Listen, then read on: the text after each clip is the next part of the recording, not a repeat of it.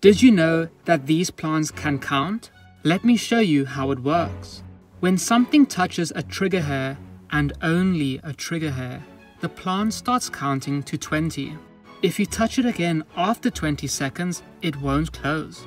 Watch as I carefully move this needle in between the hairs without touching them. The plant has no idea that I'm doing this or that there's food in its mouth.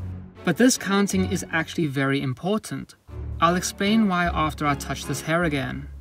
As you can see, the plant thinks that it was just a false alarm and doesn't close. But this also gives us the opportunity to make it count to 20 again, but this time we will feed it. Anyway, counting lets the plant know that there is something actively moving inside the trap to eat.